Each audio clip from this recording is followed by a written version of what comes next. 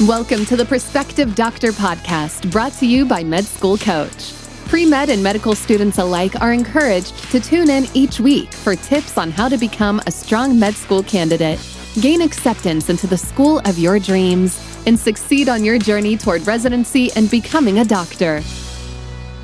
Hello, everyone. This is Arkita here, and I'm super excited to have a very special guest. Stacey Jackson Roberts, who is a licensed clinical social worker, also known, if you hear this throughout the podcast, as a LCSW.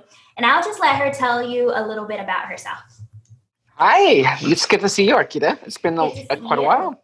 But yeah, I'm Stacey Jackson Roberts. I'm a therapist in private practice in Silver Spring, Maryland. I know Arkita from our prior work together at a federally qualified health center in Baltimore where I spent about seven years working largely with the LGBT community, um, and particularly with the transgender community. I was the lead therapist there for LGBT behavioral health and did a lot of like surgery assessments for transgender individuals seeking surgery and also training therapists how to do that.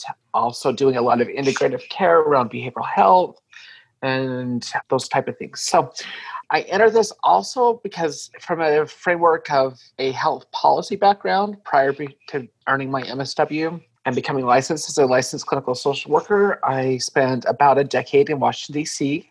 Mm-hmm. working on healthcare policy issues and particularly access to medicines like uh, antiretroviral AIDS medications and things like that. So I, I, bring kind of that lens to this too, as to, as to how, how we expand access to care for marginalized communities. Absolutely. Like Stacey is totally a gem. And, and like she said, we work together in a federally qualified health center, which gives a lot of care to people in communities who would not have otherwise been able to receive care from healthcare professionals. And they they allow people without insurance to be seen and things like that. And just on another note, as Stacey said, she has a big background on policy. So we may have another episode on this in the future, but but we also work together on unionizing our healthcare organization. That's right. It's something that a lot of physicians I know I didn't know before I started there can be a part of. And, and there are some programs where you may be a medical student or a resident that definitely have unions available. So it's definitely something to look into. Yeah, and particularly with the way the healthcare industry is going, it's we're seeing a lot more doctors unionize to help ensure that they have the structure that they can provide good care and not just see number after number of patients and it being all about the billable hours. So we're we're seeing a lot of that. So anyway, it was a really rewarding experience working with you on the marketing team.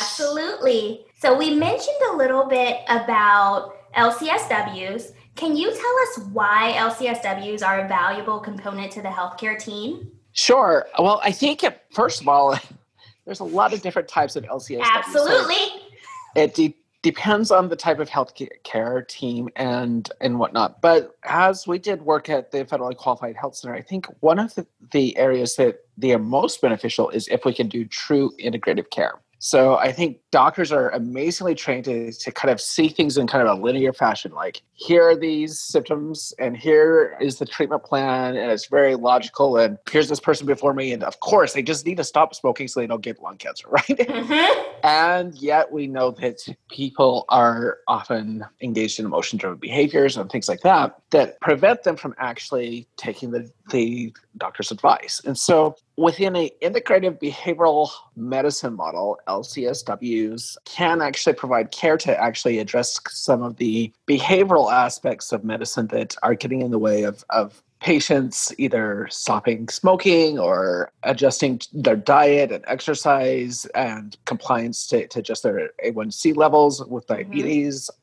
to early interventions for depression and anxiety um, or other mental health things and, and, her, and get them and help them bridge the gap from the medical office where they may be first encountering an LCSW after a doctor's kind of pulled them in to meet with the patient mm-hmm. to actually getting them into a therapy office where they can actually talk to somebody about their mental health challenges. And so there's that's kind of a behavioral medicine approach. And I did a bit of that when when we worked together before but I also my primary role was really the traditional therapist role. And so that's where instead of such a micro level perspective in working in a therapeutic environments, social workers tend to, they're trained in that, but they also have a lens that comes from a systemic perspective. What are the systems and barriers that are preventing this person from actually achieving health? And how do we address those in a way that also helps alleviate their mental health symptoms? So, for instance, with the trans community and whatnot, that's often on the margins. If we're not addressing things like their housing and their access to income or economic uh, stability, then it's very difficult for them to access a surgery that may require, you know, eight to 12 weeks of recovery and mm-hmm. dilation. If they don't do their dilation, then their new vaginoplasty may heal closed and create all sorts of other healthcare problems. So, if we're looking at a more systemic perspective, the social worker, through the mental health kind of framework, can help address those barriers to help mm-hmm. this person access the care they need, to also help them achieve health and access the care that they need.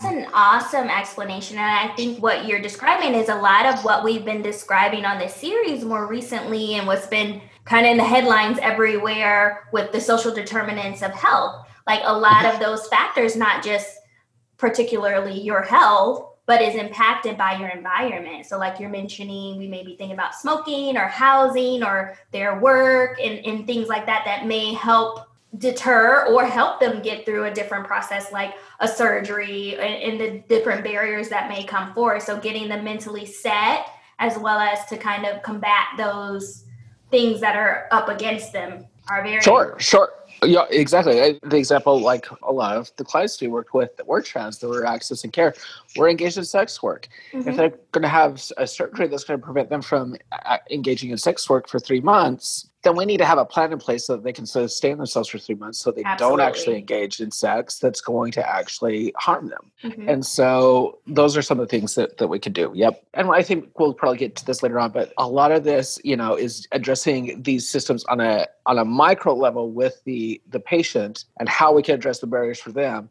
and there's also social workers that are not clinical social workers that are more addressing the macro issues. And sometimes I kind of blur the lines between those. I, I, I like bridging the gap because I think that they're a false dichotomy. And as I think you saw with the union and, and us, the mm-hmm. union is often involved in the political aspects of changing policy. So here in Baltimore or any marginalized community, we often see the social determinants of health that you were talking about mm-hmm. um, relate to environmental justice they build uh, waste facilities and different types of facilities that are hazardous to community health near communities of color. And so here in Baltimore, we have astronomical rates of asthma amongst our community of color, along with other other issues as far as uh, hypertension and diabetes and things like that. When you have food deserts and things like that, so mm-hmm. there's a lot of interplay between racial justice and social justice and environmental justice that are all going hand in hand and often these places like unions are not just places that are uh, involved in just work, you know, my boss is being mean to me type stuff. Mm-hmm. They are often using their, their clout to advance the health of their members and their community. And so that's another way that social workers are often engaged. So my apologies for. So. Oh no, there's nothing to apologize. I think that this is great information and it's something like I said, like when I was in medical school, like a lot of our listeners are, had no idea that was going on. And as we see, like we need these advocates, we need these unions, we need these healthcare workers that are here thinking about the whole patient and their whole life and not just that moment in time where they may be in the office, because all of that contributes to their health. And we need to be advocates for our patients. Well, and I think a, perfect example of that is a process that I believe that you were involved in a little bit, and that's that's how we, through our union and in collaboration with our employer, the QHC, mm-hmm. and several other organizations, we went to the state to change state law in Maryland mm-hmm. to help access to care for minors. Um, we were having the law in Maryland was ambiguous about whether minors could consent to treatment with PrEP mm-hmm. to prevent HIV and uh, a lot of our doctors were kind of a sticky situation as to how they can actually help minors that are actively engaged in sex and other risky behaviors access PrEP without talking with their parents when they are at risk, which is a situation that might be dangerous for them if they are disclosing that they are gay or engaging in, in same sex sex. and things like that. So we went to the state and through our union and and lobbied, and the state in the one chamber, it was unanimous, and in the other chamber, it was nearly 90% voted in favor of changing the law so that minors can consent to, to doing PrEP. Mm-hmm. So, again, that is removing a systemic barrier to accessing care where doctors, based on the clinical criteria that this patient is engaged in, in high risk behavior, can be prescribed a medication to prevent HIV. Absolutely. That's healthcare advocacy in action and that that's what we're here for to to make to decrease barriers so that our patients can get the care that they need. We speaking of care that we need, um, this year has brought a lot of attention to why it's important to have marginalized groups have members of their care team who can identify with their experience. We've had a, a recent discussion on our podcast about how 5% of all doctors identify as Black.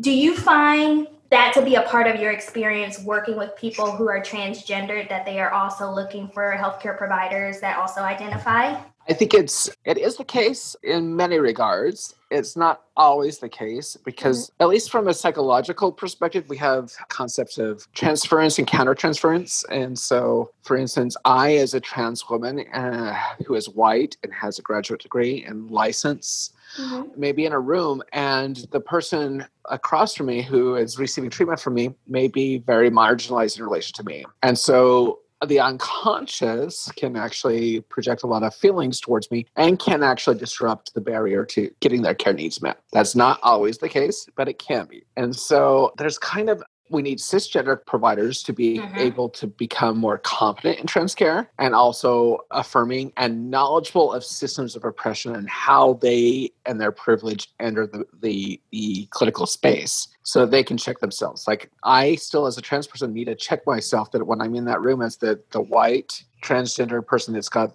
a degree and making a pretty good income mm-hmm. and i'm determining whether this person gets a letter that's going to grant them access to surgery that's a lot of power absolutely and a lot of privilege and so i need to be conscious of how that that that's playing out in the in in that space and whether i'm adding to the barriers or whether i'm truly actually trying to address the barriers I agree with that. And, and as you know, and everyone who's listening has probably been partaking in a lot of conversations about how if you are a part not a part of a marginalized group how can you serve as becoming a better ally in terms of supporting them whether or not it's in healthcare or not?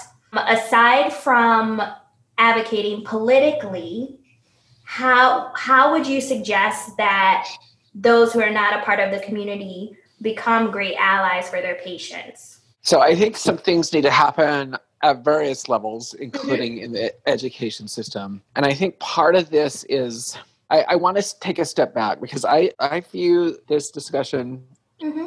through the lens of both being trans but also being anti-racist. Mm-hmm. And I think that it is a very different experience of marginalization for a person of color in the United States of America.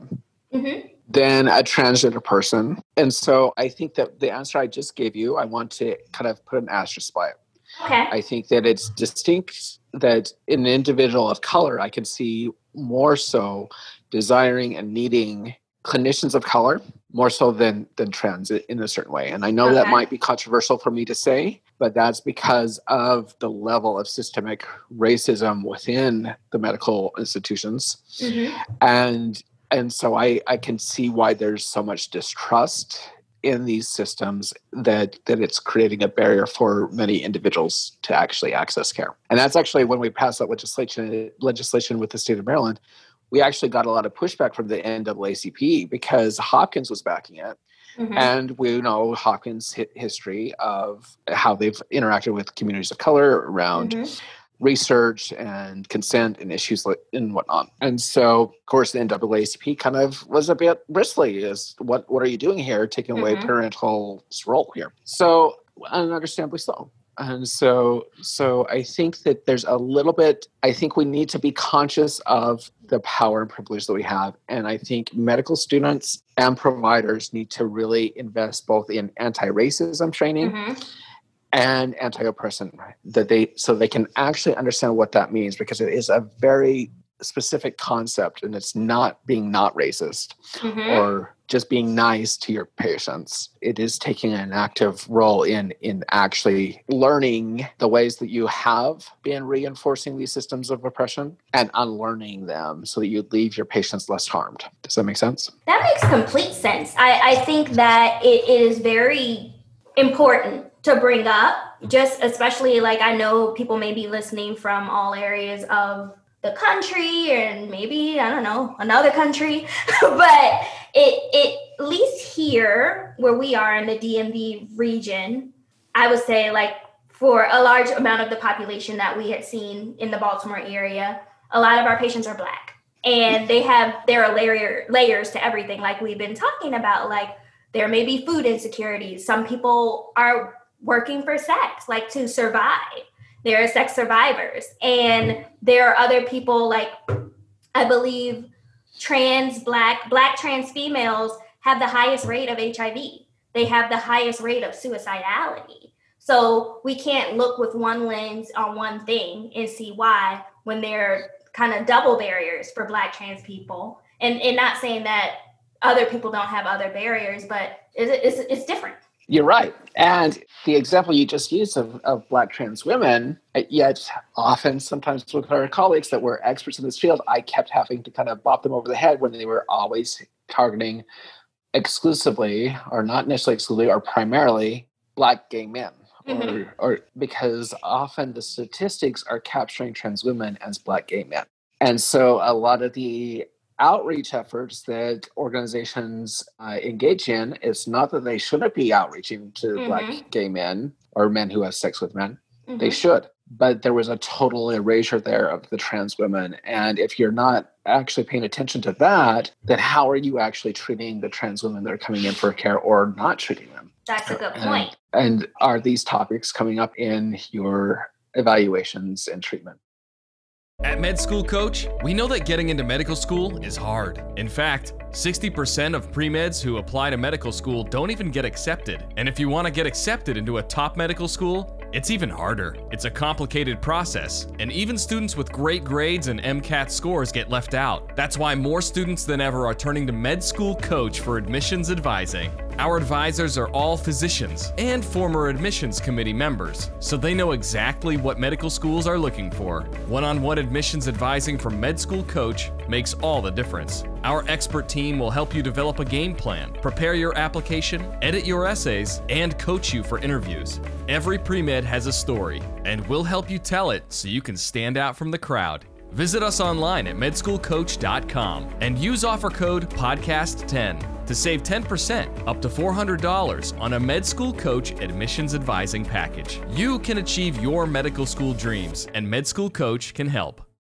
Yeah, I, I think that that's a great point, and it brings us to, and you kind of mentioned some of the things in terms of the training, because, mm-hmm. but to be honest, like physicians don't have a lot of training in terms of providing care to patients who are transgender aside from like strongly advocating that we implement some of those changes into our system aside from like one mention in one class or like personally when i went to work at the organization that both of us worked at before that was my first time ever learning not learning that trans people exist because of course like i've known a, a few people who are trans but like learning about the different medications and screenings and in the in things that are medically necessary to know when we're treating special populations. I think that it shouldn't be something that should be an elective.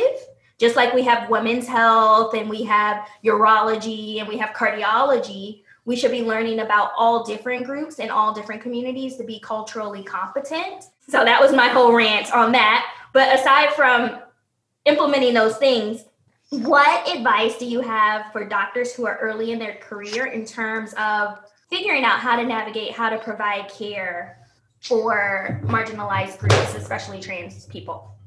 So I think part of the, this is, is an example of the the barriers and, and mm-hmm. where where they lie and where as future stu- students they can push their institutions for hopeful change I have a, a friend, I won't disclose which institution, but I have a friend that is the manager of diversity services at a, let's say, a top five medical school, and has been specifically instructed that they are not to use words like microaggression and various concepts that are really critical to anti oppression training and marginalization to really be able to, to help providers understand how to better relate to their, their clients. And so I think there's, when you're looking at the leadership structure, and it is mm-hmm. nearly or almost exclusively white men and the, maybe a couple white women at these institutions that often get defensive when you're trying to actually do substantive work around anti-oppression, anti-racism within a framework that actually addresses these barriers. Because if you can't acknowledge the problem, then hmm. you're not going to address it. And so they want to do a colorblind and soften the language and whatnot, colorblind approach and soften the language. And then students are getting frustrated and you're not actually training them to actually address these social determinants of health. And they're walking out with an education that is very white male centric, just like within medicine, a lot of research is white male centric. Mm-hmm. so things get messed, um, and we wonder why certain populations, including women, are they have heart attack misses, mm-hmm. and people of color, you have higher mortality rates for, for women that, that are delivering babies and, mm-hmm. and whatnot. So um, when when the institution itself is built upon a lens that is white male centric and all the research is based around that and you can't even acknowledge it and use language to help train doctors to ad- address and become more conscious of it then we're just reifying the system. And so as as medical professionals as individuals enter this profession it will become incumbent on them to push those changes in the system and also seek out their own training. So there are institutions that are starting to integrate this. There are institutions that are starting to do fellowship programs. And even then, they are still often within a lens that is cis-centric. Um, and so I would advise people as much as possible to get training from professionals that are also members of the community that are affected there are professional associations that um, mm-hmm. do a lot of this work that still have these problems that are still rooted in a lens that, that isn't conscious of anti-racism mm-hmm. or conscious of ciscentrism or heteronormativity. And so they're reifying both in their training and their research really problematic frames that are not meeting the healthcare needs of the population. Does that make sense? It totally makes sense. I think just to summarize what you were saying is our leaders are they're working with blinders on. Most of them are white men. There are when they have diversity is usually cis white women. So when we are seeing these things in our institutions not going the way and you're not getting the education that you want to, you guys can come together and advocate and push your leadership. You can have your, your student leadership and your groups ask for these things. And, and sometimes people may not think that they may work and they may not in some situations, but you can ask and you can keep pushing. Otherwise, you can seek some self directed learning as an adult learner and most especially get training from people in the community and organizations that are already in place and seek some of these fellowships and push for the next generation to get this training. And, some of you may be wondering like why are we hosting an entire episode on this topic? But just personally i just want to say like from me in my work over the years having patients come to me and saying, This is the first place where I felt welcome as a human being, or this is the first, I have to fly. I had a patient fly to me every six months from Georgia to Maryland because I was the only doctor that was seeing him in the area and he went and there was no one in Georgia. So he was like okay I've seen you. I'm going to keep coming. Or someone who would have to drive 4 hours each way to see me. When there are doctors all over the nation everyone should be trained to give appropriate, thoughtful, evidence based, human centered care to anyone who needs it. And, and, and, we need to have this as a part of the curriculum and if you don't you've never heard about it now you have So you need to figure out a way in order to enrich yourself so that you can be an asset for your patrons in the future. You may not go into primary care, you may not go into psychiatry, but patient or surgery, but you will have patients from all different backgrounds, including transgender patients in whatever field that you go into. And you need to figure out ways to be culturally competent and respectful, as well as um, screen appropriately for the appropriate things that need to be screened and ask questions in a way that are sensitive and appropriate. So so these are conversations that we need to start having and and hopefully when you listen to this you'll go and talk to your classmates and talk to your instructors and figure out ways that you can learn more and grow. Well, and I think along the, the lines of, of the power that students may have, um, mm-hmm. they should look up um, Smith College School for Social Work mm-hmm. um, mm-hmm. and racism. Um, just Google it. I, this is I went to Smith for my MSW, um, mm-hmm. and in certain regards, I received a phenomenal clinical education. And one of the things I loved about Smith was their anti-racism pedagogy. That being said, despite having a very phenomenal anti-racism pedagogy, they had faculty on staff that had never been through that anti-racism pedagogy and training. Mm.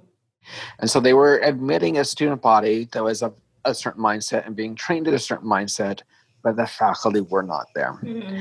And so there were often a lot of challenges and conflicts, and, and emails and things would get leaked to the community that were very racist and problematic. But the community came together with the students of color and demanded change. And some faculty and staff are no longer that were there for decades are no longer at that institution now. Mm-hmm. So there's a lot of media coverage around what happened there a few years ago. There is the power to change these institutions, and it's frustrating that anybody has to do it. Mm-hmm. It's not fair, it's not right, but you can fight for what's right and what you deserve in your education. I totally agree with that. And just from a personal tidbit for me, I went to a certain institution that isn't too bad, and we had similar things in terms of racism going on and the black students came together and we decided to write a letter to our dean. And we decided to advocate and push until we got a cultural competence elective and, and coursework integrated into the curriculum. And i won't say how many years it's been but it's crazily been like over, over a decade. And the students are still using that curriculum. So so you don't have to accept what you're not taught you can advocate for change and for improving the knowledge base that you guys are paying for. You're paying tuition, you should get to learn about how to treat all patients. And that's the end of my soapbox. Well, and I, I think in this vein is is keep in mind like you're you're receiving a phenomenal education. Mm-hmm. And that education is also rooted in white supremacy, heteronormativity, ciscentrism, masculinity, ma- maleness, valuing maleness. And so we should also be uh, applying a critical lens to to that education so that we're making progress forward. It's not to discount it completely but okay where are the gaps? Where are the holes in this? And i'll, I'll use an example. So i was i have adhd and went to my doctor to get my refills and whatnot and she was concerned whether i could handle the stimulant. And so she wanted to do a stress test on me. And so i said okay i'll do a stress test was not happy about, I'll do it. and the morning of, I arrived to do the, the stress test, and she had called the company that makes the machine to to see whether I should be put in the system as male or female. And some random person at the call center said male. And she didn't tell me this until after I'd taken the, the test. And I was like, okay, I have been on hormones and my body has not produced male levels of testosterone in over 10 years there is no way that I have the stamina of someone that has. And you are now push, putting me up against somebody that is. Mm-hmm. So one just went completely around me, even though I'm a per- person that I might not have a medical degree, but I can also connect you with folks that do have medical g- degrees and can kind of help you flesh out these questions rather than calling some random person on, on the call center. And let's talk this out as to see whether your logic here is is is faulty because I should not have been put in there as a male. I haven't been male in technically I don't think forever, but I haven't had testosterone in my system at male levels in over a decade. I'm not going to perform on that test like a man. Performed much more like a woman who's much out of shape. so anyway, that's just one example of I, th- I think people get a very cis binary orientation and a mindset, and so it's sometimes hard for them to kind of step back and think outside the box as to how this really applies to the, the client before me. I love that you brought that up because as you know, we have all these different guidelines and things that we're doing, of course, with evidence based medicine.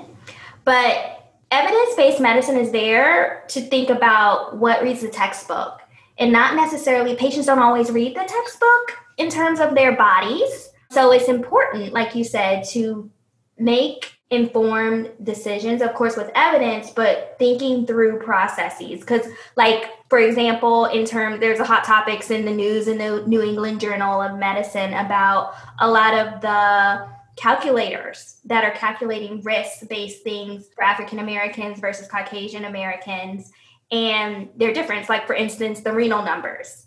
And they say, like, if you're black, you get a certain amount of points, and you might not necessarily get a transplant or get put in dialysis and you're put on later because your number reads something different. So we may have to reassess what we're doing and look at the actual patients and what's going on with their bodies, like you said because with you having estrogen higher levels in your body you perform like you expected to perform and the doctor could have kind of thought a little more critically about that.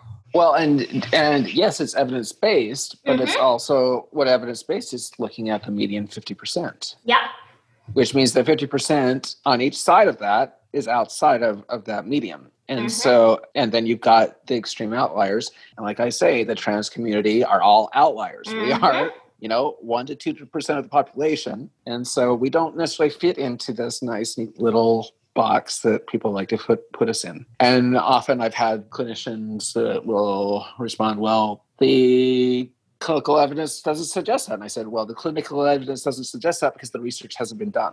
The the research a it doesn't collect this information or historically hasn't until recently. And even as we've adjusted recently to add like SOGI information it really often collects it in ways that is not all that inclusive. Mm-hmm. like i can choose to be identified as transgender or as female. And if i identify as transgender then it lumps me in with non-binary individuals and trans men and so there's a lot of lumping rather than pulling apart as to what this this question really is asking and why it's asking it. And so we often assign meaning to things that may not actually be there. At Med School Coach, we know that studying for the MCAT exam can be challenging, especially for busy students on the go. That's why our team created MCAT Prep, the only all encompassing study app built specifically for the MCAT. MCAT Prep by Med School Coach provides student access to extremely high quality content and a personalized curriculum for free. The app has more than 250 videos, 1,000 flashcards, and 1,000 unique MCAT questions. Plus, MCAT Prep by Med School Coach allows students to create a personalized study schedule and track progress over time. You need every competitive advantage you can get to get into medical school, and now you can put the experts from Med School Coach into your pocket. It's the closest pre-med students can come to a personal tutor without spending a penny. Download MCAT Prep by Med School Coach for free at medschoolcoach.com slash MCAT or download it directly from the Apple Store or Google Play Store. You can achieve your medical school dreams, and MCAT Prep by Med School Coach can help. Does that make sense? It makes complete sense. And I, I really appreciate all of the interesting conversation that we had tonight. I think tonight we had originally anticipated talking about more of like the mental health care that you give and certain populations, but we ended up talking about unions and advocacy and anti-racism and everything. So I love it. Going with that for your final question, what is one like final pearl of wisdom that you want to leave to our future physicians? Like what is one thing that you would really implore them to do?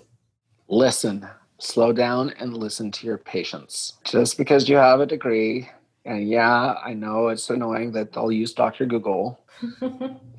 but listen to your patients, particularly if they're on the margins. Often they haven't been listened to, and you know, I have a medical condition that's fairly rare, but is becoming more prominent called eosinophilic esophagitis. That anytime I went into the emergency room with the flare ups from it for a year, I was written off as an upper respiratory infection, treated with steroids, and sent home. And my primary care doctor treated it the same way. All the while, food was getting large, lodged in my esophagus, and I was getting written off. And so, and also when I went in for those people, their automatic assumption is with a transgender person, particularly trans woman, is that it's a pulmonary embolism, despite it being the same symptomology and me knowing my body. Mm-hmm. I know every doctor hates hearing that. but there, there's a pattern there. Listen to the patients. I should have been referred to a specialist that had particular training in the esophagus much earlier than having to deal with those symptoms for five years and not getting the care that I need. And that's also another example of, of I have to go to UPenn to get a doctor that's competent in that area and is trans affirming. So, you know, access is is an issue. I know I said that was your last my last question. but you said something in that last part that is very important for our students to realize. And I don't think I verbalized it earlier when I said people were flying to me. Patients look for physicians who are quote unquote trans affirming, which means like like Stacey mentioned, she lives in Baltimore. We have the University of Maryland, we have Hopkins, 45 minutes away, we have Georgetown. We have so many hospitals in the DC metropolitan area, and she goes all the way up north because her doctor is trans affirming. All doctors should be trans affirming. Yep. I've had four surgeries this year. One of them was a hip surgery in Georgetown, went to Georgetown uh, not Baltimore. Mm-hmm. The three other surgeries were done in New York City this year to get access to competent, affirming care. I travel. Mm-hmm. So, I when you are seeing your patients, hopefully in the future, no one has to go and search for you hours away because you make them feel like a human being. And that's all I'm going to say today. So I really want to thank Stacey Jackson Robbins, Roberts for coming today, and I want to give her a chance to say goodbye as you guys click subscribe. Thanks for having me. It's so good to see you, and I hope that we can catch up soon. And I, I'd love to come back and talk more. So absolutely, you're welcome anytime. Thanks, guys. Please click that subscribe button, and I'll see you next week. Each episode of the Prospective Doctor podcast is brought to you by Med School Coach.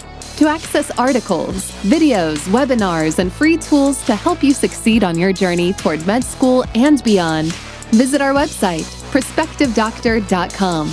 We hope you tune in again next time